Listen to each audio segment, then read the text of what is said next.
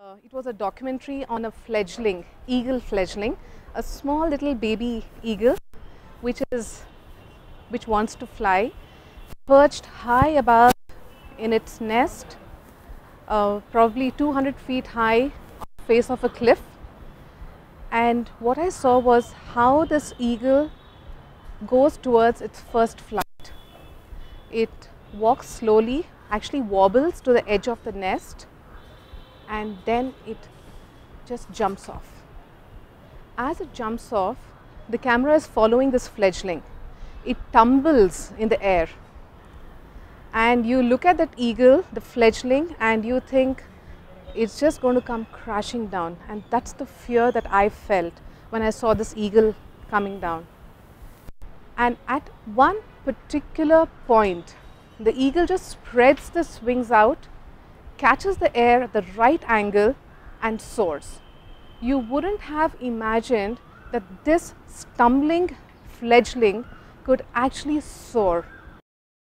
Something happened inside of that fledgling at that point that made all the difference. I was so frightened to even have an aspiration. And I would start things, I would do things halfway and somewhere give it up.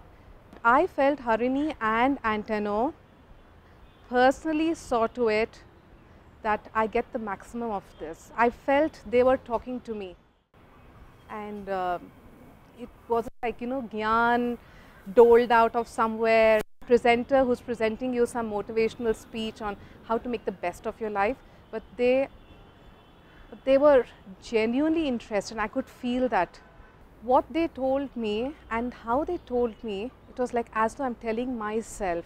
It was like deep down, my mind was giving this instructions. It, it was telling me how to guide myself through all this and it was an internal process. It wasn't like an external person trying to navigate my life. I don't have to depend on an external person to either motivate me or guide me or direct me. I have this internal compass set in now which tells me exactly what to do at what time. And also it tells me when I'm going wrong, how to accept it. Everyone here comes from a different background, different challenges. And somewhere they take everyone's issue as their own and they solve it. And they don't solve it really, they help the person solve it. And they do it in such a sleek manner they mean business. They are the real deal. Not here to just motivate you temporarily and let you be. They are there with you through the journey and specifically target at what exactly they need to do and change.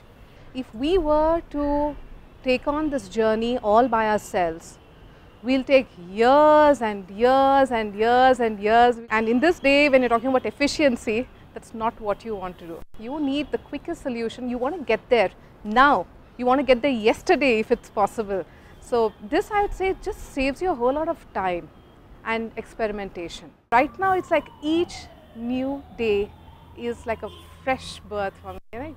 Every day I'm born afresh and uh, such wonderful, compassionate change makers are so rare and they are change makers of the century.